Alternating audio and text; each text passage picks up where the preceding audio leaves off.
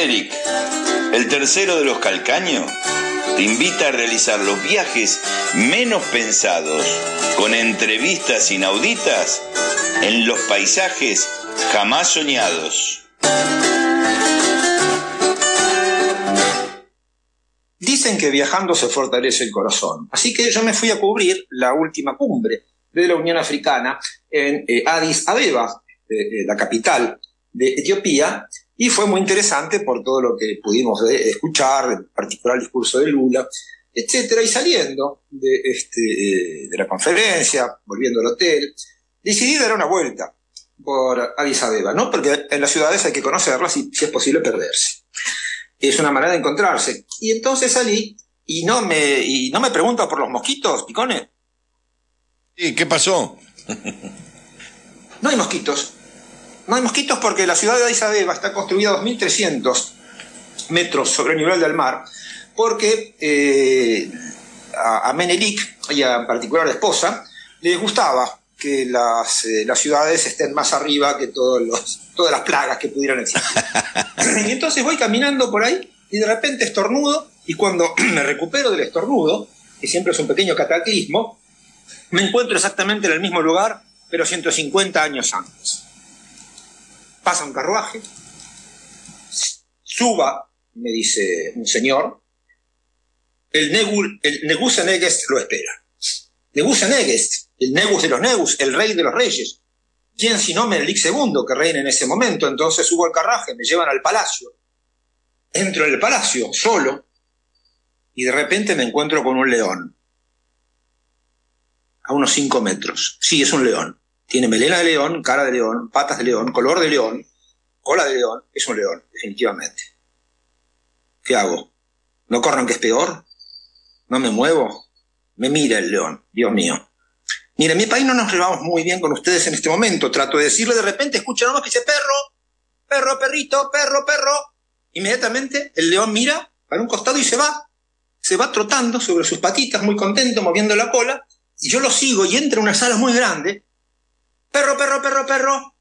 Y ahí veo sentado a un señor de color negro, con barba, con una tiara, como una tiara de papa, en serio, recubierto de una túnica que parece inmensa, parece que no solo le cubre el cuerpo, sino que también hace que sea uno con el palacio, con el sillón donde está, perro, perro, perro, y va el león y, y Menelik, puesto que es él, el emperador, me dice, pase, pase, no se asuste. Yo le digo perro, se llama perro. Claro, es león, pero le digo perro. pero él no sabe que no es perro. Ah, sí, creo que ya escuché ese chiste en algún lado. Y encima hay otros dos, leones ahí que están jugueteando también. ¿Y esto de los leones cómo es? Ah, es que en Etiopía es una tradición. Nosotros siempre criamos y amestramos leones. Incluso hay fotos mías montado al lomo de león. Eh, no, si se los trata bien, si se les da amor, son buenos bichos. Y si, se, y si se les da odio, no, si se les da odio es otra cosa. Pero son tan buenos estos nobles animales, nosotros mismos nos pensamos los leones de Judá, porque descendemos de Salomón, eh, que también nos acompañan en las guerras. ¿Cómo en las guerras? Sí, sí. Cuando va nuestra infantería al combate, también van los leones. Si no, pregúntele, ¿ese se cargó, ese que está ahí jugando? Así como lo ve, se cargó varios soldados italianos. No me diga. Y entonces también en la habitación donde está Menelik, claramente es un, lugar de reposo, más de, más de tranquilidad, aparece una, aparece una, señora también ataviada con, con leones coronados y cruces. Mi esposa, Taitu Betul, me dice Menelik. Eh, majestad, emperatriz, ¿cómo le digo? No, no, hay problema, me dice. Eh, sí, es mi tercera esposa, dice Melenik. Vos sos mi cuarto esposo, le dice Taitu, machirulo. Y también se escucha el tañir de una cítara, ahí al lado de, al lado donde estamos, con el emperador este, eh, Menelik, con su esposa Taitu, y se escucha un, tañir, una, una cítara que es así, no woman, no cry. Ah, ese es mi primo, Mekonnen Well de Micael. Bueno, pero entonces acá tengo todo el, todo el gobierno de Etiopía. Puede decirlo, me dice Menelik. Eh, que habla muy bien castellano, por supuesto, como todos acá. Eh, sí, mi vida es muy interesante. Resulta que yo era hijo de un negus, pero de un negus de una provincia. Y, me raptaron a los 12 años, me mataron a papá, me raptaron, me quisieron ser sirviente de otro rey. Después, cuando tenía 21 años, me casé y escapé. Y escapó de, de todo. Escapé de mi, de ese casamiento que habían arreglado, escapé de ese, de ese mal rey que me quería esclavo, y entonces empecé a tejer alianzas desde mi provincia, este, eh, con mi primo, sí, yo lo, yo lo ayudé mucho, dice Mekonnen, eh, alianzas, porque en ese momento el imperio etíope era muy chiquito, eran cuatro o cinco provincias, pero había que ser rey de reyes, había que ser el nebus principal, el nebus nebuset para este, poder acceder a la, al poder. Y mediante alianzas, con construcción política, mm, logramos poco a poco ir conquistando cada provincia y llegamos al poder. Y como yo estaba, como le decía, en mi tercer casamiento, vos sos mi cuarto esposo, acordate, le dice Taitu. Bueno, Taitu vio que acá había un lugar muy lindo, donde estamos ahora, y había una flor que ella no había conocido, exactamente, dice Taitu. Llegamos acá eh, lo que es hoy Addis Abeba, y a mí que me gustan mucho las flores, vi que había una flor que no conocía, y entonces le puse, vamos a la capital acá, le dije, ¿me conen? Digo, sí, sí, querida, me dijo, y le vamos a poner la flor más bella. Eso quiere decir Addis Abeba. Y después, bueno, después, cuando llegamos al poder, con la emperatriz y con mi primo, decidimos que había que modernizar Etiopía teníamos una estructura prácticamente feudal, había esclavitud, peleamos contra la esclavitud, tratamos de hacer ferrocarriles, hospitales, escuelas, pero sobre todo nos dimos cuenta que las potencias europeas, después del Acuerdo de Berlín de 1883, creo, algo así, se habían repartido el África, lo cual era una villanía absoluta, un acto de imperialismo insoportable.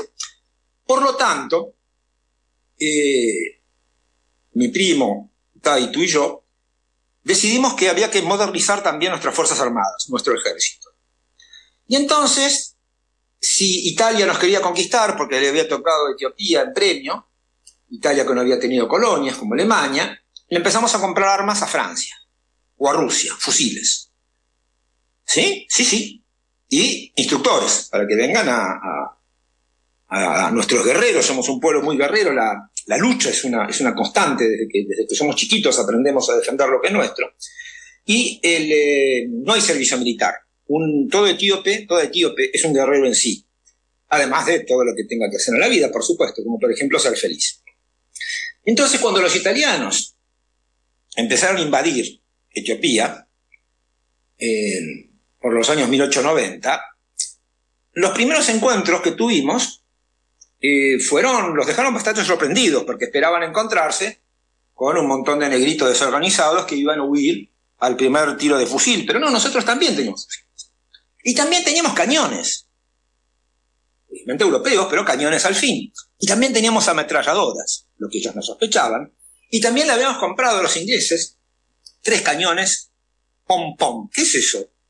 Los cañones pom-pom, me dice en el primo, son cañones de tiro rápido. Ah, entonces los italianos, ¿y qué pasó? Los italianos quisieron inmediatamente firmar un tratado con nosotros. Bueno, yo dije, está bien, mientras eh, haya, paz, no hay, no hay problema, mejor la paz que la guerra. Así que hicimos un tratado, pero la versión en etíope decía que Etiopía era un país libre, soberano e independiente, y la versión en italiano decía que éramos un protectorado italiano. Porque yo firme, yo firmé, pero quise ver la versión italiana. Y cuando vi que decía, no, no hay tratado. Así que rompí el tratado, se pudrió todo, y ahí los italianos invadieron con 25.000 soldados, unas cuatro divisiones, este, eh, mi país, Etiopía, la invadieron desde el norte, eh, desde Eritrea, y lo peor de todo es que había, un, había una división compuesta de ascaris. ¿Qué son los ascaris?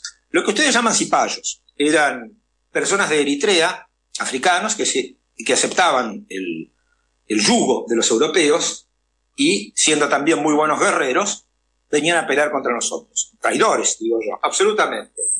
Pero entonces, de inmediato, yo que había llegado a ser Neus desde hace poco, tuve que probar mi poder, me dice Mekone. ¿Vendrían los etíopes a aceptar a pelear por mí, por Etiopía? ¿Y qué pasó? Bueno, llamé a todos los RAS, los Ras vienen a ser como, es, un grado nobiliario, a los otros Negus de cada provincia, a los Ras, y le dije, bueno, acá está en juego Etiopía. ¿Van a pelear? ¿O van a aceptar el yugo italiano? ¿Y qué pasó? Juntamos cerca de 100.000 soldados.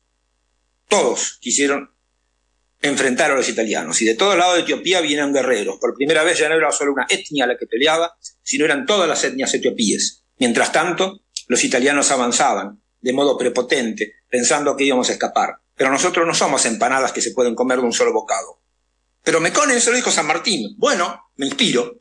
Así que nosotros fuimos marchando también y fuimos a un lugar, a una llanura llamada Adua, que queda en el norte de Etiopía. ¿Y usted, emperatriz, se quedó de regente? ¿Cómo me dice?